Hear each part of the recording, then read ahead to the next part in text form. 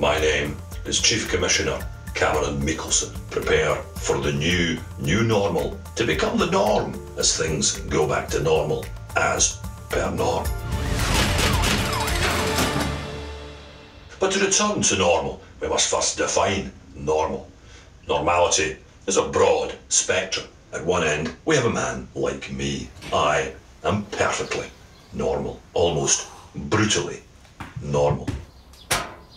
I have gone deep normal. At the other end, well, I know a fellow in Dumfries who during lockdown fell in love with his cupboard. And as long as it's not illegal, I will back you returning to whatever you consider to be your normality. But I will just say, careful around the hinges. So in uniform and in civilian dress, I'll point out how best to get back to normal at work and at leisure. As usual, all my wisdom will be captured by my loyal assistant, Jean.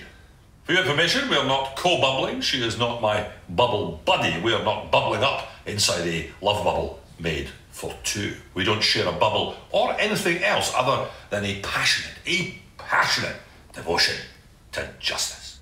As you meet and greet people again, doing so in a normal manner might be a bigger challenge than you'd first anticipated. Keep your greetings legal and acceptable.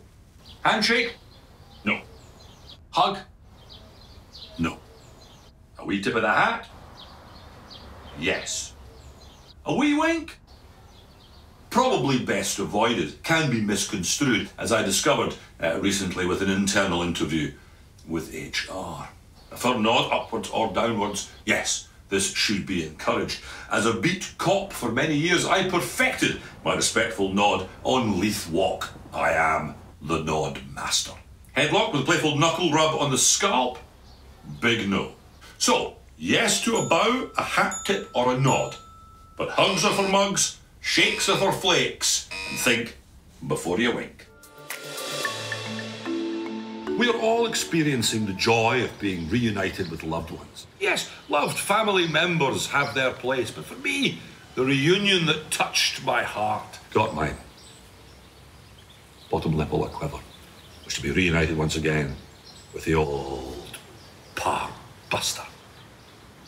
But in golf, as in the rest of Scottish life, social distancing guidelines must be followed. So careful with your mixed foursome. Careful a four ball doesn't become a two ball, and when you gimme, don't touch your partner's balls, their iron, their wood, or their shaft. And never borrow each other's putters. Their grips are extremely adhesive, and we don't advise two partners sharing the same rubber. Now we're going back to normal. We get to enjoy spectator sports at a safe distance when needs be. As Scottish football returns behind closed doors, broadcasters may play the sound of football supporters chanting during televised games. For extra authenticity, uh, perhaps we should add in the specific sounds of each stadium. For instance, the uncontrolled sobbing of the Hearts fans. Yes, in Scotland we are blessed with judges that are the most fair and judicious in the world. I'm paraphrasing, of course, but I think that the Court of Session ruling was nail hearts, boo-hoo, dry your eyes, take your medicine, enjoy the championship. Oh, and send us a postcard from Alloa. One thing that might surprise you as you emerge back into Scotland is the sun. You haven't seen it for months. You've been laying low in your bunker. Scotland is now officially the paleo nation on the planet.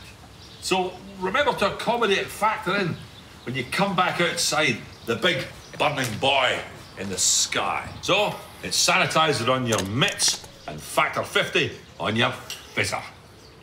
Remember, A&E are busy enough without having to deal with some boy who got eight degree burns at midnight in Aberfoyle.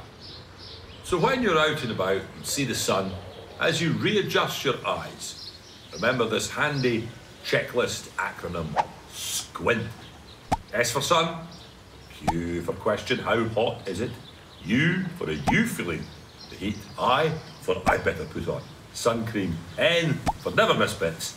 T for total peace of mind. Or T for tan, effectively. or trouble averted. Really, once you get to tea, you can make up your own. We've, got the message across. Tennent's. You can say Tennent's if you want. Although, if you are saying Tennent's, please drink responsibly. Jean, you want to get me one of the vegan magnums?